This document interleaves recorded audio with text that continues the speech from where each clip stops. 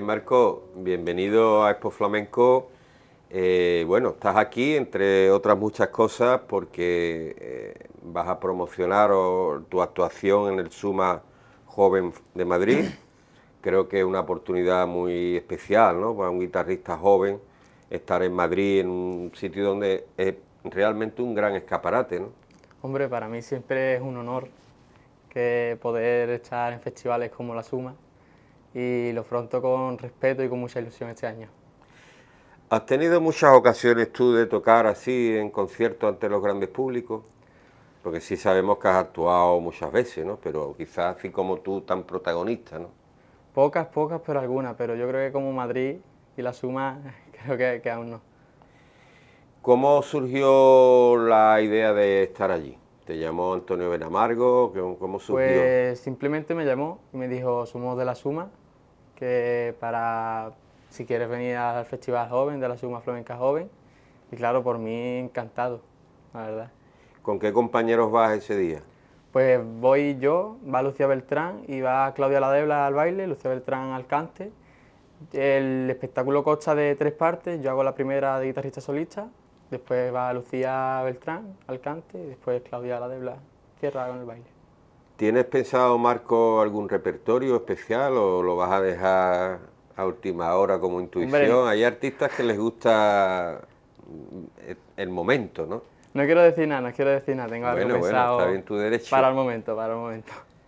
Sí, además hablaba con tu padre, ¿no? Que gracias a tu formación muy amplia, ¿no? De muchos profesores, aunque hablaremos del maestro Balao, eh, tienes un concepto muy amplio de la guitarra, ¿no? Quizás porque cada uno te ha dejado algo, ¿no? Cuéntanos un poquito cómo ha sido ese proceso. Hombre, a mí, yo nunca me he interesado por la música realmente. Me llegó de, de mi padre, entre comillas, que tocaba en la iglesia, y poquito a poco me fui interesando por la guitarra y después, dentro de todo, ya por la música, no era solo por la guitarra. Siempre me ha gustado todo tipo de música, jazz, el flamenco, por supuesto, eh, la música buena, la verdad. Y al gustarme la música buena, pues en la guitarra siempre he intentado descubrir las armonías, los tonos, las escalas, por dónde tirar, por dónde no.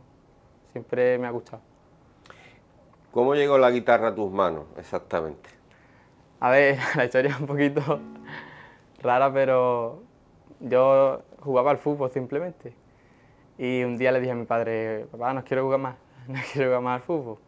No tenía tampoco nada que hacer y veía a mi padre eso, ensayando para los cantes de la iglesia. Y tenía yo una guitarrilla allí que me compró mi padre por, los Reyes. Y poquito le dije a mi padre algo para aprender y me sacó un, folio de, de acordes con el machi y yo solo me, me empecé a poner mi, fa, y ya de ahí mi padre me apuntó con mi primer profesor, que fue Eusebio, y de ahí me gustó el flamenco y ya pues hasta aquí. Luego te haces como el último gran alumno de José Luis Balao, al cual Paco de Lucía le llamaba el científico de la guitarra, un hombre bohemio pero con una capacidad de creación y además eh, que él ha sabido tener 10 o 12 alumnos en la Champions, como se suele decir, pero cada uno con su personalidad, ¿no? Y eso, háblanos del maestro Balao, porque yo sé que ese es un tema para ti sensible. Para mí el maestro Balao es totalmente un cambio en mi manera de pensar y, y, de, todo. Yo vengo del toque flamenco, por así decirlo, gitano de aquí de Jerez, de bulería, de Zolea por bulería, y llego allí y me abre la mente totalmente con sus composiciones, con la música clásica, con, con todo tipo de música. Para mí un gran descubrimiento el maestro y, muy agradecido de, de, poder haberlo conocido. Porque quizás, Marco, esa escuela que tú decías así más jerezana, ¿no? Eh, se utiliza mucho la mano derecha, ¿no? La zapúa, el pulgar, el rajeo pero el maestro Balao lo que hace es que te utiliza la izquierda todo el mástil, ¿no? Lo primero que me dijo, una anécdota graciosa, llegué yo muy rápido, tocando bulería muy rápida, a cejilla, me dijo, a cejilla, la quita. Tiene que estudiar con la mano abierta y todo el machi. ¿Te puso él alguna composición que tú recuerdes, el maestro? Que Claro, claro. afortunadamente lo tenemos vivo, cuidado. Él me ha puesto infinidad de composiciones, pero la que tengo siempre ahí en la mente es la granaína de él, Murmullos de la Alhambra. El toque para el- acompañar al cante es muy diferente del toque de concierto. Yo hablo desde mi punto de vista y para mí es que no tiene nada que ver, absolutamente nada que ver. Hay que escuchar, hay que esperar, hay que guardar el silencio debido, hay que... totalmente otra cosa. Y ya por último, Marco, eh, ¿tú crees que tu generación es demasiado deudora de Paco, Vicente, ¿no? de ese sonido que ha venido así? Porque claro, la guitarra es mucho más antigua, ¿no? pero parece que todos los guitarristas están muy en esa onda, ¿no? A ver, hablar de mi generación es difícil porque por lo que veo hoy en día a muy poca gente de mi edad le gusta el flamenco y se interesa por la música, pero conociendo a los, a los poquitos amigos que tengo que tocan y les gusta, siempre tienen un maestro fijo ¿no? en el que se han basado, que es Paco, pero al final cada uno intenta buscar, hoy en día, porque hoy en día toca todo el mundo bien, intenta buscar su personalidad y, y sonar a él, sonar diferente. ¿Y ser de Jerez te ha aportado a ti algo en el tema de la guitarra?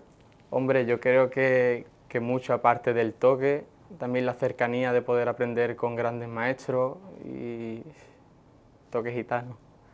Que yo creo que si no eres de aquí, puede parecerte, pero es difícil. Hay una fuente ahí, ¿no? De los Parrilla, Moraito, Niñojero.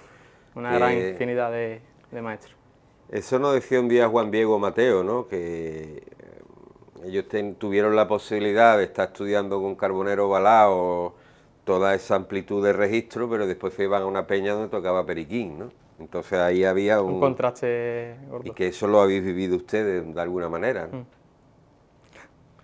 Pues nada, Marco, desearte mucha suerte. Ahora comienza una nueva etapa, ¿no?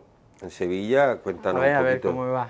Pues el año anterior me, me presenté al concurso de Cristina Eren de la Fundación de Sevilla y tuve la suerte de ganarlo y de conseguir la beca. Y estudié el año anterior allí, pero yendo viniendo, conservatorio aquí en Jerez, allí estudiando por las mañanas. Y este año pues he tenido la oportunidad de que me han vuelto a dar la beca de Acciona y voy a irme allí a vivir, a ver cómo me va. También te vas al conservatorio, ¿no? También estoy eh, por la mañana el conservatorio y la fundación, porque también tengo conservatorio por la mañana, pero a ver cómo lo hago. Pues nada, muchísima suerte en esa suma flamenca joven.